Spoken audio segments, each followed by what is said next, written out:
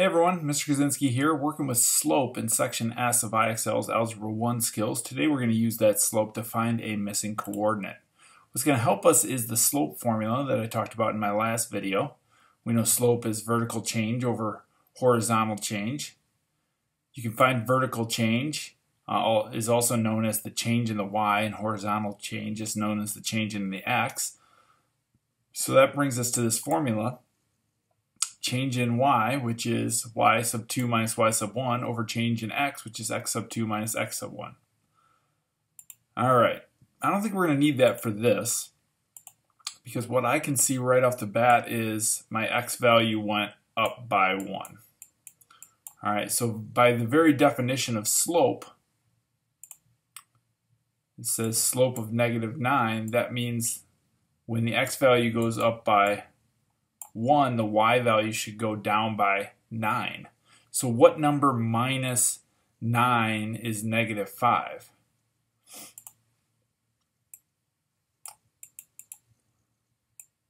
Four minus nine is negative five.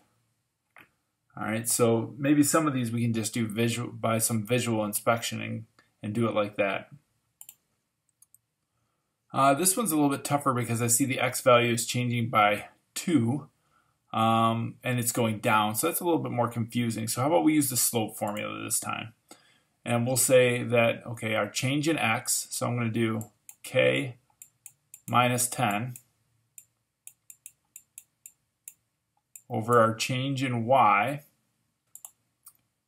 2 minus 4, is equal to our slope, 6. And then we'll solve this equation. Um, the first thing I'm going to do is subtract that 2 and 4 on the bottom of the fraction. Then I can multiply both sides by negative 2. And then add 10 to both sides. And we get that k is negative 2. So if k is negative 2, uh, this point would be 2, negative 2, and the line that runs through these two points would be would have a slope of 6. Let's do it again. Uh, this time we're missing an x value. That does change things a little bit. So here we go. Um, we'll do 6 minus negative 9. So 6 minus negative 9 over d minus negative 7. So it's change in x over change in y. And change in x over change in y gives us slope. And our slope is negative 5. All right, so 6 minus negative 9 is like 6 plus 9. And d minus negative 7 is like d plus 7 from now on, I'm just going to start right there. I'm not even going to bother writing minus negative 9. When, I, when I'm subtracting a negative number, I usually just make it addition. So that's 15 over d plus 7 equals negative 5. Now I have to multiply both sides by the denominator, d plus 7.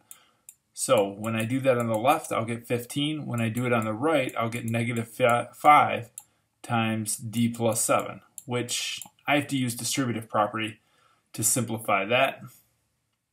I'm going to come up here and continue working here.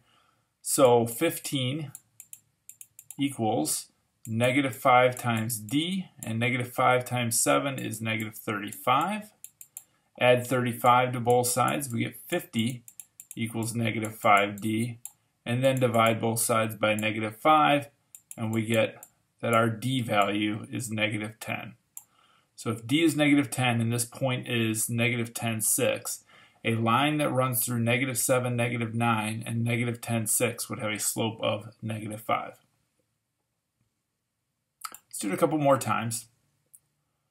All right, so this time we have a slope of 8 ninths. It's a fraction. Uh, we're missing a y value over here. Okay, so let's do change in y, p minus 7 over change in x, negative 10 minus negative 1. I'm going to write that as negative 10 plus 1, equals our slope, which is 8 ninths.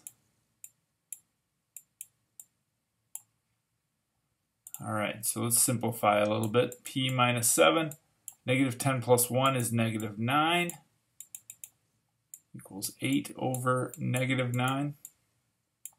Um, no, it's actually 8 over positive 9, excuse me. So, I mean, I'm, i think I'm going to use cross products here. I'm going to do p minus 7 times 9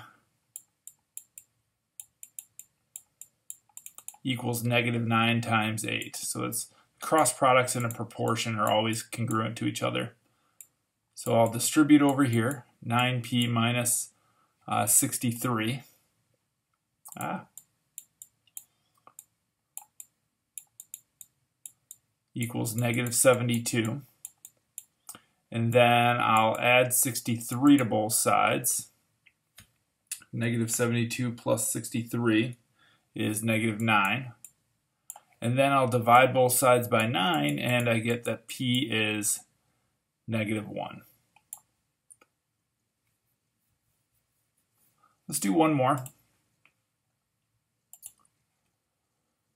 All right, we got a slope of negative 1 sixth. We have a missing x value. I'm going to do negative 8 minus negative 9. That's my change in y. Negative 8 minus negative 9 or negative 8 plus 9 over my change in x d minus 8. I always start with the point that's got the missing coordinate equals our slope of negative 1 sixth. All right, let's simplify a bit. Negative 8 plus 9 is 1 over d minus 8 equals negative 1 sixth. Again, we can use cross products. We'll do 1 times 6 equals d minus 8 times negative 1, which looks like that. So 6 equals, when we distribute over here, we get negative d plus 8. And then we'll subtract 8 from both sides. We get negative 2 equals negative d. That means d equals positive 2.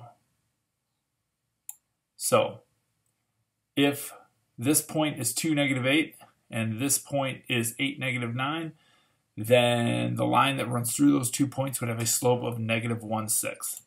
So that's how you can use the slope formula to find a missing coordinate. Good luck.